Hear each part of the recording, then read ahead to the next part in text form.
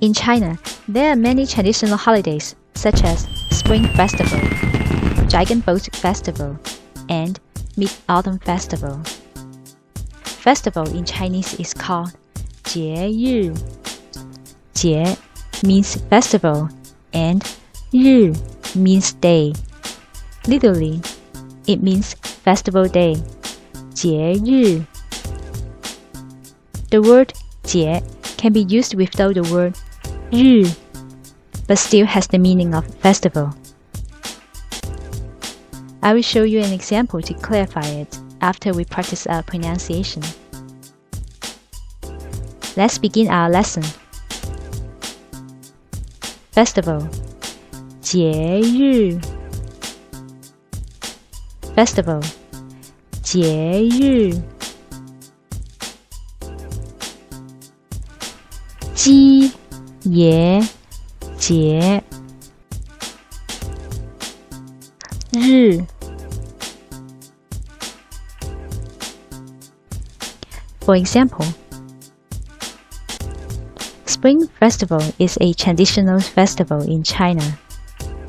春节是一个中国的传统节日。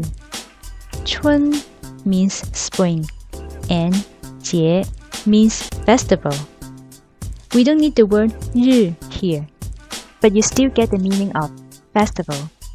And this rule applies to all festivals, such as Dragon Boat Festival, "端午节", and Mid Autumn Festival, "中秋节". But other than that, we say 节日 to describe a festival.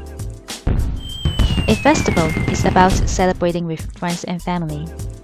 People usually do not have to go to work during a festival. But instead of resting at home and doing nothing, people have lots of activities. For Chinese people, they like to get together and have a big meal. So, now you know how to use the words 节日. That's all for today. Thanks for watching. And don't forget to subscribe to our channel and share the videos with people who would like to learn Chinese. Happy learning! Bye!